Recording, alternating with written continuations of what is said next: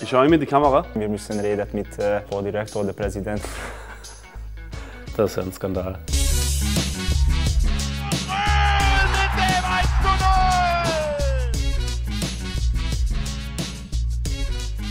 Wahnsinn, was da unsere Fans abreißen mittlerweile. Not the best, but it's okay. Und dann kam alles anders.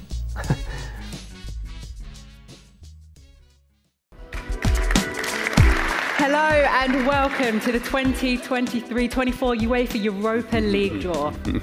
West Ham United. West Ham United, cool, äh, endlich mal nach England ein Pflichtspiel dort zu machen. Spannend auch, sich mit einem Premier League äh, Top-Verein zu messen. Olympiakos. Klar, Piraeus äh, hatte man schon. Wenn wir zweimal unsere Leistung auf den Platz bringen, äh, sind wir stärker. Ich finde es Weltklasse. Das Stadion macht unheimlich viel Spaß. Athen ist eine coole Stadt. FK TSC Baka Chopola. Batschka Topola war die große Unbekannte, äh, so ein bisschen wie Karabakh letztes Jahr. So there we have it. The draw for the UEFA Europa League group stage is complete. Im Vergleich zum Vorjahr gefühlt ein bisschen schwieriger, unter die ersten beiden zu kommen. Man muss äh, ja, sechsmal in der Gruppe eine Topleistung auf den Platz bringen. Natürlich mit dem Hintergedanke, dass wir da auf jeden Fall uns durchsetzen möchten.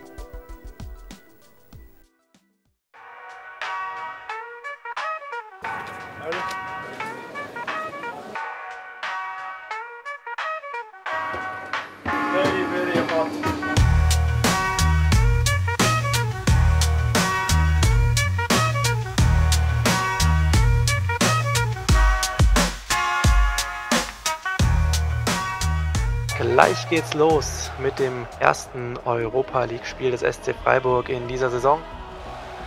Die Vorfreude ist riesig. Äh, Euroleague ist einfach eine andere Stimmung. Äh, Da sitzt die Family vor der, vor der Glotze und äh, feuert uns an. Und ähm, ja, macht sehr, sehr viel Spaß. Und in, ähm, ja, in dem Moment freut man sich dann einfach nur, wenn es dann endlich losgeht. Ja, ist natürlich ähm, immer, was, immer was Besonderes. Es ist nicht selbstverständlich, ist mit Freiburg äh, in der Europa League zu spielen. Vor ein paar Jahren oder als ich noch selbst in der Jugend war, war das nicht so wirklich greifbar oder nicht so wirklich vorstellbar. Aber dass man das jetzt so miterleben darf und, und auch geschafft hat, ist natürlich schon ein schönes Gefühl. Hier sieht man nochmal die Kapitänsbinde, wo mir der Uwe dann äh, richtet nochmal, weil die relativ lasch war. Oder meine Arme sind einfach zu spargelhaft. Eins von beiden.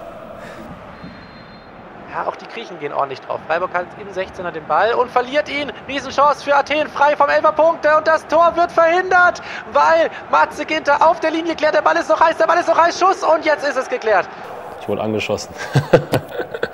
ich wurde angeschossen. Nee, also das war so, gerade am Anfang hat Piraeus äh, sehr, sehr hoch gepresst, hat man ab und zu mal ein bisschen Probleme. Aber äh, wir haben uns da reingeworfen und dann äh, mit der ersten Aktion dann selber ähm, 1-0 in Führung zu gehen, war natürlich sehr, sehr wichtig. Jetzt vielleicht. Überraschungspass. Schaller ist im 16er, könnte schießen. Tor für Freiburg. Das gibt's ja nicht. 1 zu 0 für den SC. Ja, ich habe ein bisschen spekuliert, wenn der Innenverteidiger spielt äh, kurz äh, zurück zum Torwart. Ja, so passiert und äh, ich sollte dieses Tor äh, reinmachen.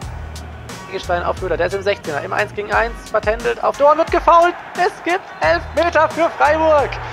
Vincenzo Grifo, der Kapitän, wird gleich schießen und er wird geblendet von Laserpistolen aus dem Publikum. Ja, es hat schon ein bisschen äh, gestört, aber ähm, es hat mich nicht aus der Ruhe gebracht, weil ich sehr fokussiert war, weil ich damit beschäftigt war, dass der Torwart so groß ist und in welche Ecke schieße ich. Aber wenn man sehr, sehr fokussiert ist, glaube ich, ähm, dann schüttet man oder blendet man alles ab.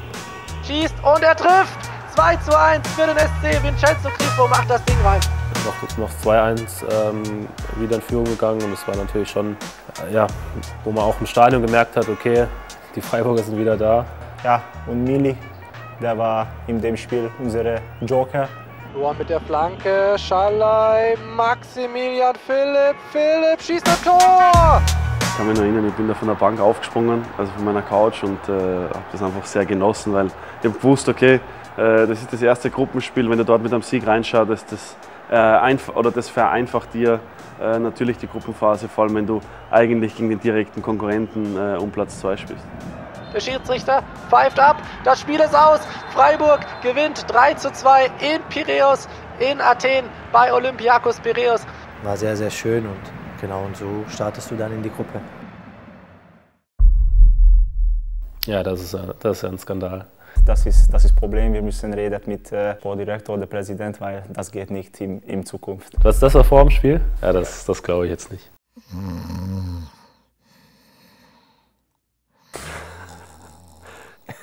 Sponi. Vielleicht war deswegen äh, oft auswärts äh, ist immer manchmal so ein bisschen Hektik.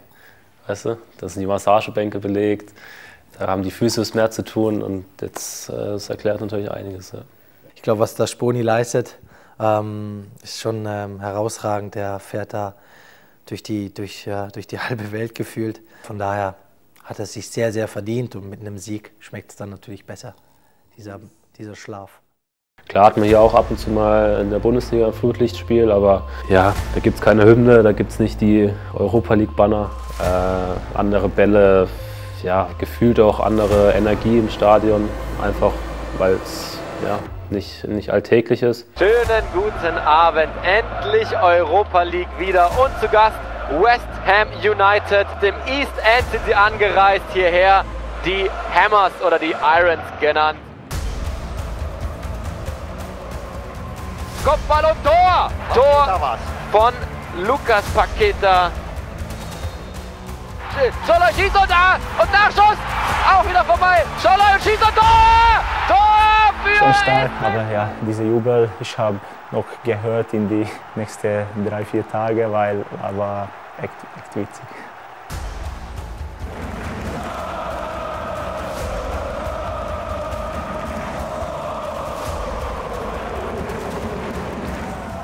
So, Ward Prowse jetzt mit der Ecke. Spielt den Ball auf den zweiten Pfosten. Tor! Herrgott, 27. Ager aus dem Nichts. Ja, 1 zu 2 aus Sicht des SC Freiburg. Ja, also gefühlt haben wir mit das schlechteste Spiel gemacht in der Gruppe. In der Gruppe. Gefühlt war mehr drin, aber wir haben äh, nicht so wirklich äh, ja, die Leistung auf den Platz gebracht. Ehrlicherweise auch sehr ernüchternd, dass wir da gerade vor, vor Publikum, gerade zu Hause, nicht mehr draus gemacht haben.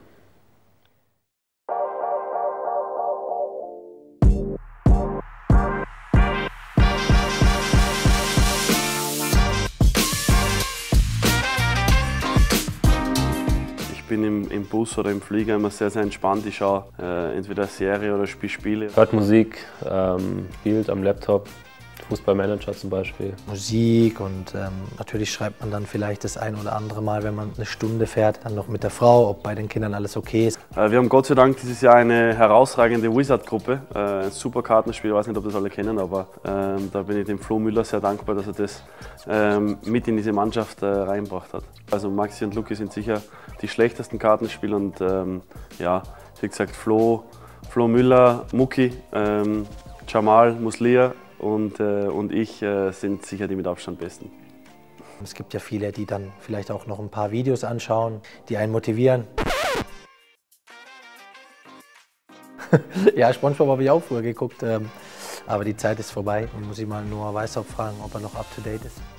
Ich glaube, dann ist dort auf einmal ein, ein kleines Prunkstück an Stadion gestanden, mitten, mitten im Nirgendwo äh, mit 4000 Leuten. Einfach ein bisschen kleiner äh, das Ganze gestaltet, und, ähm, aber es war sehr, sehr schön und ich glaube, ähm, ich habe da eine tolle Erinnerung.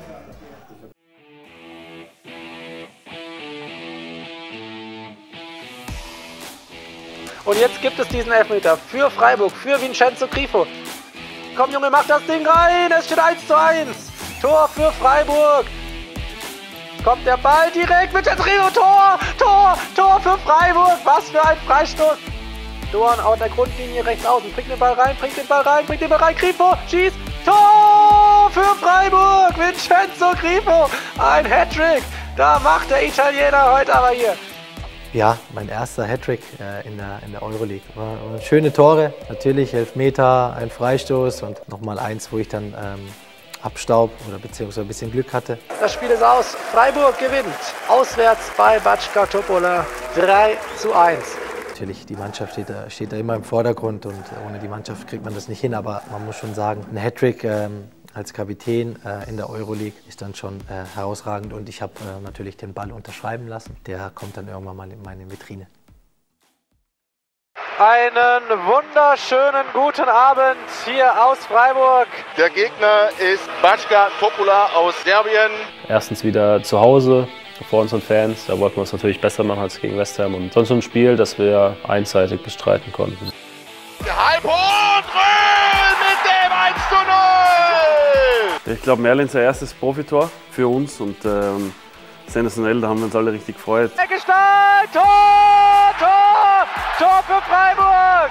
Maximilian Eggestein. Hier nochmal eine Aktion von Noah Weißhaupt, der sich da durchsetzt. Nochmal zurückgelegt von, A, von Weißhaupt, der setzt sich weiter durch, schießt, Tor, Tor, Tor. Weißhaupt macht das Ding. Eggestein liegt da quer auf Adamu, der kann abschließen. Ja! Für den Sportclub. Ich glaube Junior, wenn es einer kann, dann er. Also ich glaube, äh, besser tanzen wie er kann, glaube ich, keiner. Ja, habe ich schon mehrmals gesagt, sollten, sollten wir gemeinsam auf dem Platz stehen und, und der eine dem anderen ein, Tor vorlegen, dann gibt es von mir hundertprozentig auch den Greedy. Zu Dorn ist nochmal am 16er Tor mit dem Schüttel. Gregal hier, der nur den Ball haben wollte. Den sollte er eigentlich 100% querlegen, aber er hat Glück gehabt in dem Fall, dass er reingeht. Und jetzt ist das Spiel aus. Ja. Beste Freiburg gewinnt 5 zu 0 hier im Heimspiel und wir überwintern in Europa, liebe Freiburg-Fans. Das ist schon mal sicher und alles, was jetzt kommt, das ist einfach ein Plus obendrauf. Geil, wenn du dann natürlich dann nochmal mit deinen Fans da stehst und, ähm, und da dann feierst und dann äh, die Lieder singst, äh, die dann äh, 90 Minuten lang laufen. Sehr, sehr stolz, sehr, sehr stolz wirklich. Das äh, sind so Bilder, die, die, da braucht man, glaube ich, gar nicht viel sagen, weil wenn man die Leute sieht, in die Augen schaut, so was, was das ihnen bedeutet, dass man jetzt zusammen feiern kann, das ist, äh, braucht man, wie, wie gesagt, nicht mehr wahnsinnig viel äh, Worte dazu verwenden. Wir haben auch ein besonderes äh, Fans, auch in Bundesliga, aber glaube ich im, im äh, ganz Europa. Die haben wieder gezeigt, wie stark äh, sind sie. Ich hoffe, sie bleiben immer, immer so. Das ist so, ja, so einheitlich, alle stehen hinter dir. Die Jungs auf dem Platz haben das Trikot an und ihr habt äh, die gleiche Farbe wie der Nebenmann oder die, die Nebenfrau. Und das sind natürlich schon so, so ja, dieses Ge- gemeinschaftliche, dieser Zusammenhalt, das, das verdeutlicht das auf jeden Fall nochmal. In so einem Fall, wenn man zu Hause so ein Schützenfest feiert, dann äh, muss, man, muss man auch äh, mit den Fans gemeinsam feiern, weil das, ist, das zeichnet uns aus und ähm, das zeigt, dass wir einfach eine Einheit sind. Ja, ähm, war natürlich ein schönes Gefühl auf jeden Fall zu überwintern, aber klar war natürlich, dass wir unbedingt in der Europa League bleiben wollten. Donnerstagabend, kurz nach halb sieben. Letztes Heimspiel der Gruppenphase für den SC Freiburg. Heute zu Gast Olympiakos Piraeus.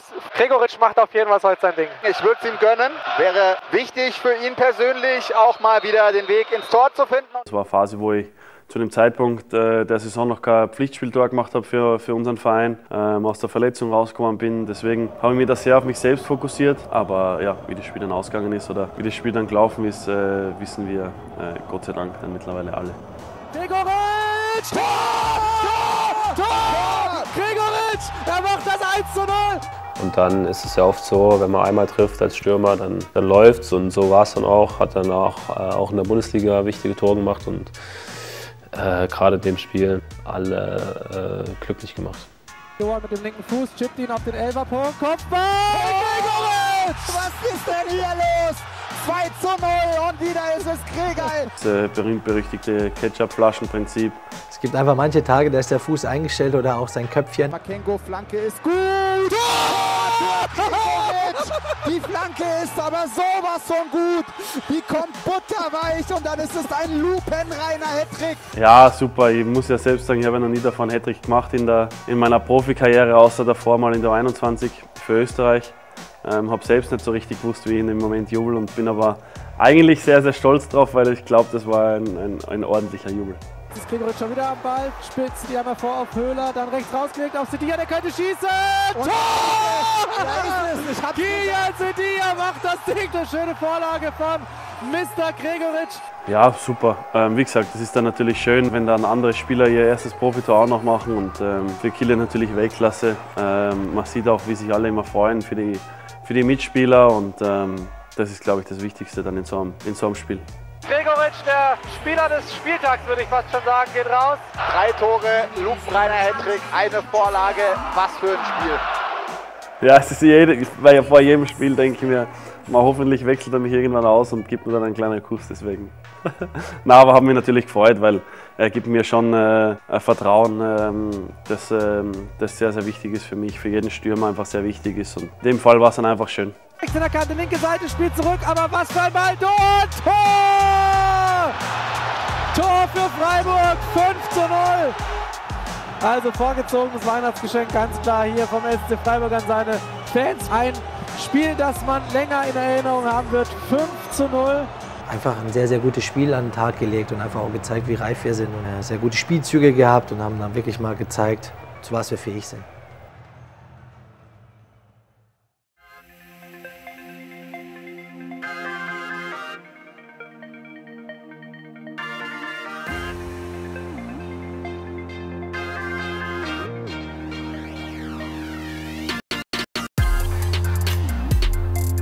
Ich war selber noch nie in London, es war mein erstes Mal. London total spannend, weil ich eigentlich jedes Jahr seit, seit einigen Jahren in London bin, ein paar Tage. In London war, war super, Stadion, Stadion war sehr schön und äh, ja, die Gegner stark. Ähm, man sieht, äh, da bin ich wie so, eigentlich wie so ein kleines Kind vom Weihnachtsbaum. Ja, ich habe glaubt, ich bin auf dem Golfplatz kurzzeitig, äh, wenn da der Stadt, also wenn das Stadion nicht drumherum gewesen wäre, ich glaubt, das ist ein Golfplatz. Not the best, but it's okay. Das sind natürlich dumme Dad-Jokes, die ich dann da immer wieder raushau. Hello, good evening und ein wunderschönen Abend aus London. Wir waren beim Fanmarsch. Unglaublich tolle Szenen, Momente dort erlebt, sind hier mit den Fans hier, mit den 4000 mitgereisten Fans ans Stadion gelaufen. Also den, den Fanmarsch hat man schon, schon mitbekommen. Und wenn man dann die Bilder gesehen hat irgendwo im Netz, dann denkt man sich auch, ey, Wahnsinn, was da unsere Fans abreißen mittlerweile.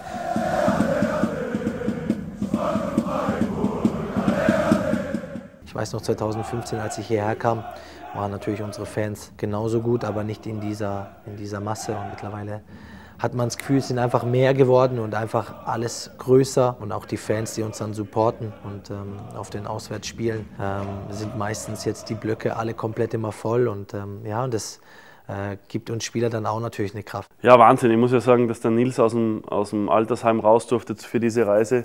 Äh, da muss man auch dem Altersheim einen großen Dank aussprechen, dass, sie, dass sie so alten Menschen das auch ermöglichen, dass sie nochmal reisen können. Nils ist, glaube ich, da wirklich ein besonderer Fan gewesen von uns. Sagt, glaube ich, auch einiges aus über ihn. Er war dann auch öfters mal, ist, ist er oft hier auch im Stadion, ist oft auch hier unten in der Kabine diese Saison gewesen und natürlich auch auswärts, äh, dass, er, dass er da auch dem Verein weiter die Daumen drückt. Wie gesagt, in dem Alter nochmal solche Reisestrapazen auf sich zu nehmen, ist natürlich für uns, äh, vor allem für mich, äh, weil ich noch mit ihm spielen durfte, ähm, was ganz Besonderes. Das Stadion steht, jetzt mal alle 4000 hier ihre Schal empor und unterstützen jetzt ihre Mannschaft. Jetzt begeben sich die Teams aufs Feld. Es ist natürlich ein sehr, sehr schönes Gefühl, in so großen Stadien dann mit dem SC einzulaufen.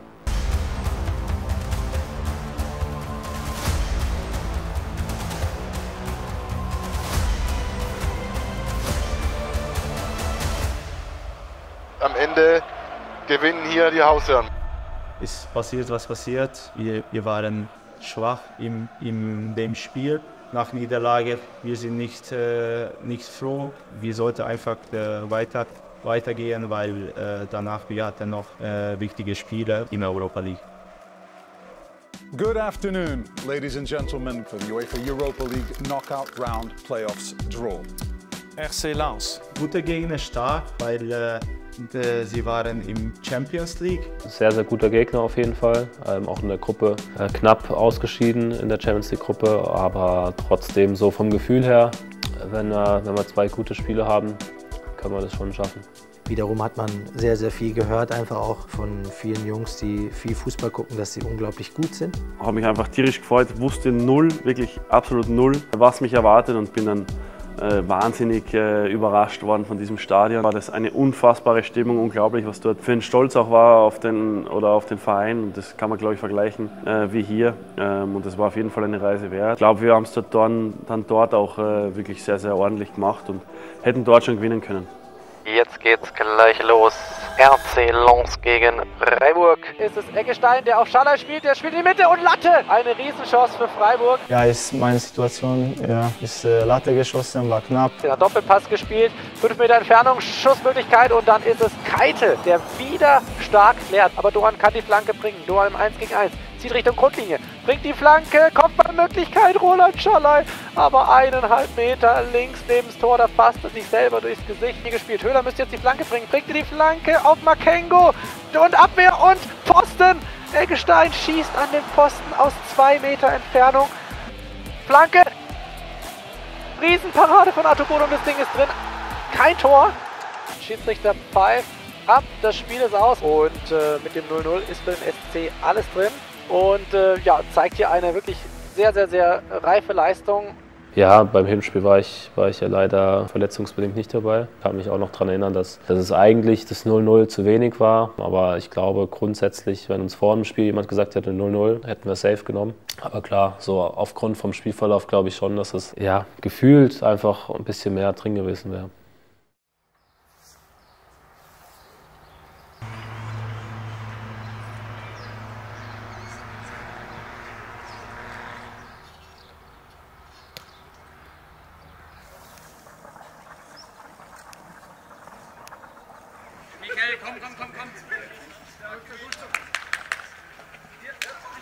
Ja, das ist, glaube ich, einfach auch eine gewisse Art von mir, dass ich da vor allem beim Aufwärmen versuche, ein bisschen an Spaß und Lockerheit mit meinen Jungs äh, zu haben. Ähm, Gott sei Dank ist es hier auch erlaubt, dass wir äh, vor allem Spaß haben.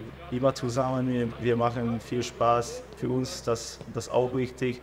Ich glaube, wenn man in solchen Momenten zu verbissen ist, dann, äh, dann ist es schlecht. Und deswegen ist dann mein Job vielleicht auch äh, mal das eine oder andere Lächeln äh, in die Truppe zu bringen. Das zeigt auch, wie witzig wir sind und wir, wir wollen ja, wirklich immer, immer viel Spaß machen. Ähm, und ja, wir wissen dann im, im, richtigen Moment immer, wann wir, wann wir zurückschalten müssen. Und ja, aber manchmal zu viel. Okay. Ja, und damit ein herzliches Sally und Bonjour heute zum äh, Playoff-Rückspiel in der Europa League. Ja, Choreo, un unglaublich. Unsere Fans sind wirklich ein Wahnsinn. Die lassen sich immer was einfallen. Ja, was habe ich gesagt? Wir sind immer überragend. Wir haben gesehen im Hinspiel, dass Chancen da sind. Und, und deswegen hat uns das gezeigt, dass wir das auch zu Hause schaffen können und dass wir da auch eine große Chance haben zu gewinnen. Und dann kam alles anders.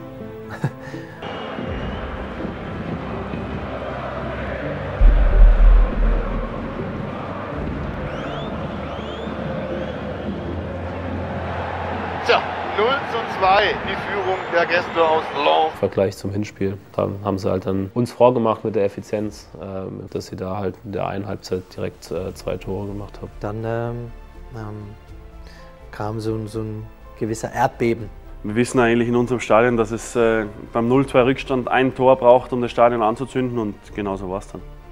Das ist Dorn, der bringt die Flanke an langen Pfosten, da ist der Ball, Torschuss, Tor, Tor, Tor für Freiburg und damit steht es hier 2 zu 1. Normalerweise an dieses Spiel, ich sollte in Rückraum sein, aber in der Situation habe ich gemerkt, ach, 2-0, ich gehe rein, kann sein, ich, ich schieße ein Tor und so passiert. Und in dem Zeit im Spiel, wir haben gemerkt, okay, jetzt wir sind wieder da und äh, wir haben äh, Chance zum zum 2-2 zu machen.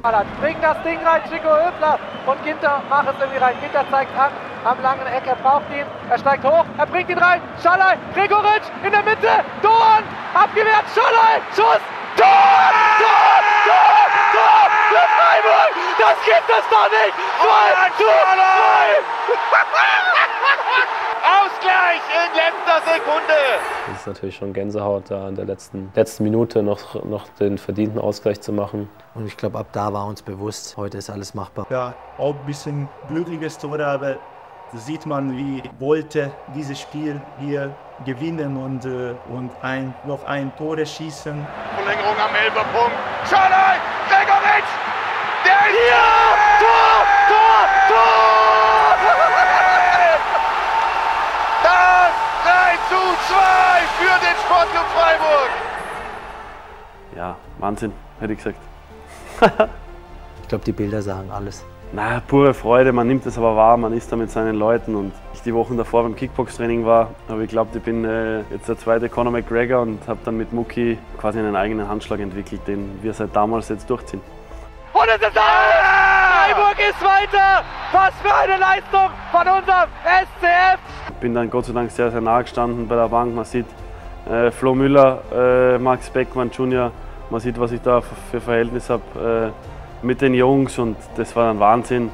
Ja, da auf die Menge hinzulaufen, ähm, ist unfassbar. Außergewöhnlich, wirklich. Also ich glaube, dass sie, wie wir jetzt da alle feiern, das zeigt, wie gesagt, nochmal die Harmonie in dieser Mannschaft und die Atmosphäre. Sehr, sehr schön. Sehr, sehr schön auch für die Leute, weil äh, die erste K.O.-Runde gefühlt, die man seit sehr, sehr langem oder überhaupt, ich weiß gar nicht, ähm, überstanden hat. Und das war für die Leute was, was ganz Spezielles, was ganz Besonderes, glaube ich, wo man sich ähm, auch noch lange daran erinnern wird. Für solche Momente arbeitet man darauf hin, dass man so Momente erleben darf. Mir war es dann ein Bedürfnis, dass wir da ein Foto machen mit unseren Fans gemeinsam, weil auch das ist ein Schulterschluss. Glaube ich einfach eine sehr, sehr coole Idee, ähm, die wir da umgesetzt haben. Und ähm, alle sind da dabei, alle Betreuer, vom Betreuerstab waren da dabei. Max Beckmann, ich glaube, immer wenn wir gewinnen, lag er so da. Äh, absolut ähm, modelreif. Er wollte halt auch aufs Bild. Er ist ja ein bisschen kleiner. Wenn er da hinten in der zweiten Reihe steht, dann komm, leg dich hin. Kann sein für nächste Saison, der ist äh, dritte Torwart. ja, was von uns?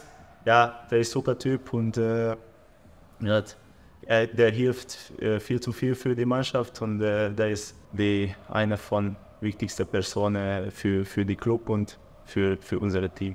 Ein Foto auch für die Ewigkeit und das ist, glaube ich, so eine Sache, das kann man sich ausdrucken und ähm, hängst in den Louvre.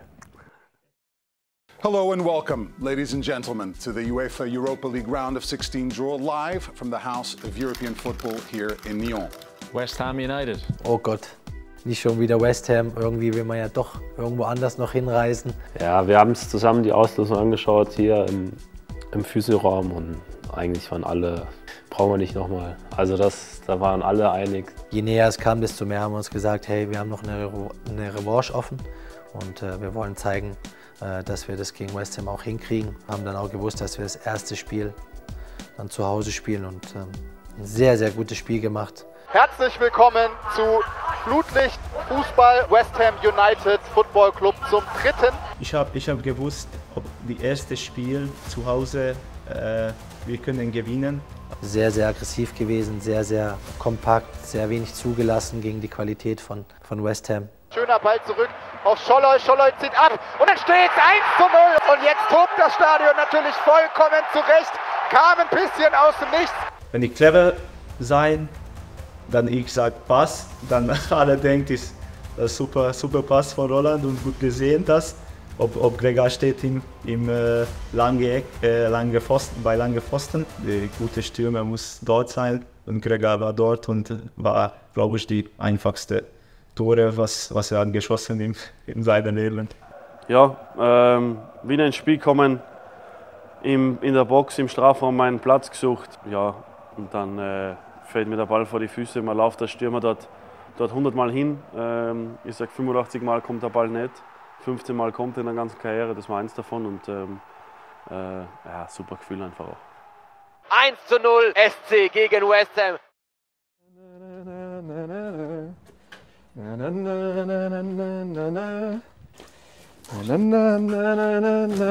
Perfekt. Packen wir's.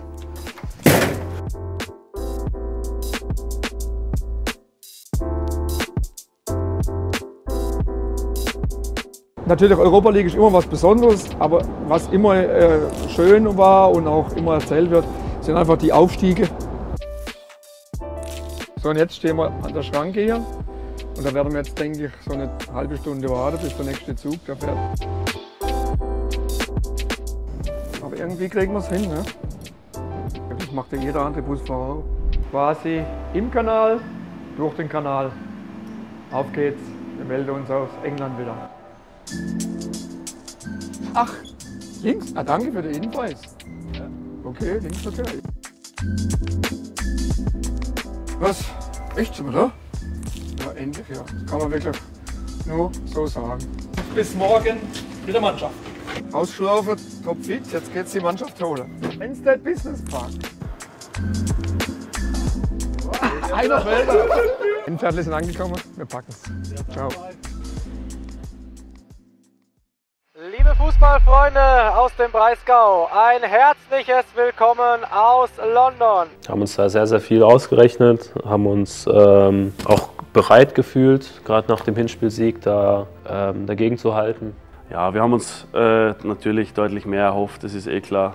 Ähm, haben uns deutlich mehr erwartet, auch vor allem nach dem Hinspiel. Wir haben uns gefreut, wieder in diesem Stadion zu spielen. Sehr großes Stadion, die Fans sehr hitzig in London. Mit ehrlichen Worten gesagt, dass wir da keinen guten Tag erwischt haben, dass äh, West Ham einfach deutlich besser war an diesem Tag und unsere Reise dann leider zu Ende war.